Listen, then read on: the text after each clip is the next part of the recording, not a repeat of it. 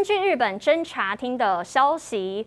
北韩在今天清晨是发射了两枚弹道飞弹，而在日本防卫厅就表示说，这两枚飞弹的飞行高度是一百公里，射程是三百五十公里。第一枚飞弹在台湾时间的凌晨十二点四十七分左右发射，第二枚是大约在六分钟之后发射。两枚飞弹都落在日本专属的经济区外，当局正在调查飞弹种类当中。北韩发射飞弹后，美方军方。也表示说，正在跟盟国还有伙伴密切的磋商，称此举是凸显北韩破坏稳定，而这也是平壤近两周来第七度的试射飞弹。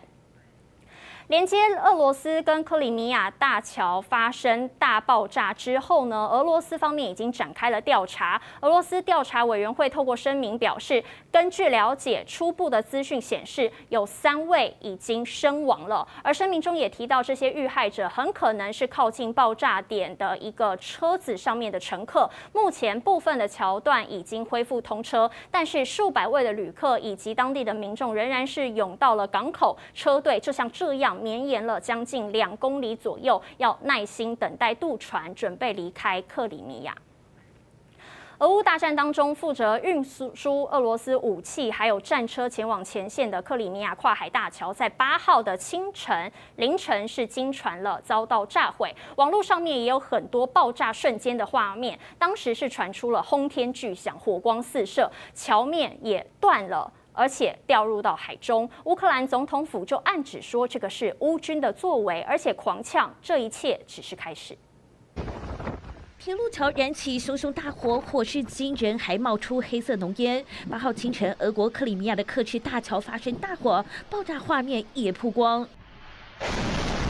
监视器记录下车辆行进过程，整座桥突然轰隆作响，火光四射，不难想象爆炸的威力有多大。但有网友怀疑爆炸瞬间非这次的影片。事后有惊恐的驾驶拍下影片，直击桥面段落崩塌，沉入大海，景象触目惊心。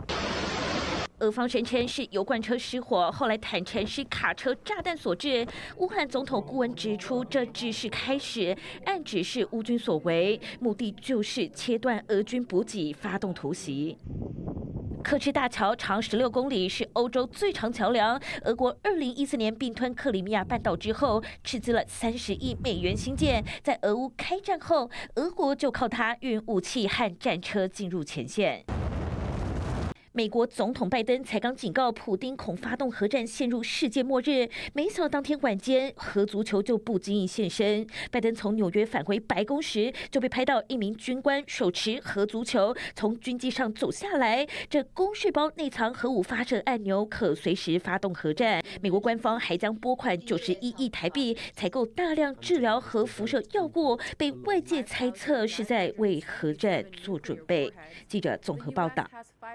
中共二十大倒数一周，中共十九届七中全会今天要来召开，将正式决定二十大的相关日程，做最后的准备。按照惯例，中共总书记习近平会就二十大的报告讨论稿向七中全会来说明。全会讨论通过之后，提请二十大来审议。北京的学者就表示说，由于中共以及现在世界各个地方都处在历史的交叉口，二十大的报告应该会是数十年来影响。最大的一份政治报告，我们也会为您及时的来掌握最新的焦点。海皇鲍鱼干贝 XO 酱，这个你只要加上一瓢，味道马上升级。它蛋白质是鸡肉啊，是牛肉还有虾的三倍，更是呢矿物质远高于鱼翅啦、燕窝之上。赶快上快点购，输入我的推荐代码 CTI 六六二七就可以享有折扣优惠哦。